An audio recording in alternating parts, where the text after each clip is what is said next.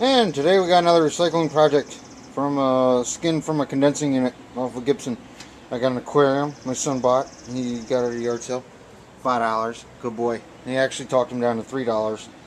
And um, the lids for these down at Petco or whatever, the cost as much for the lid as it does for the whole aquarium. So I found some metal and I marked the lines. What I did is I just sat it on there, drew all the way down around underneath with a marker, and then I took my straight edge, and I added one lip, two lips, and trimmed it all out. And you'll see I got this side already done. I just bent it over, and bent it over, and then nice little lip there. Nice, uh, you know, it's not sharp, so yep, that's what I'm doing. Check it out. And there it is. Isn't that pretty?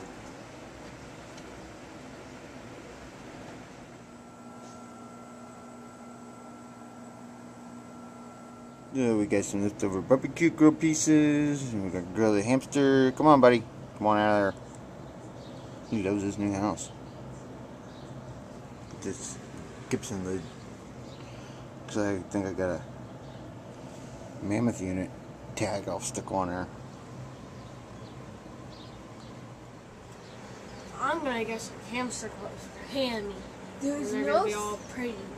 there's no such thing as clothes. Yes, there are. No, there isn't. Yes, there are.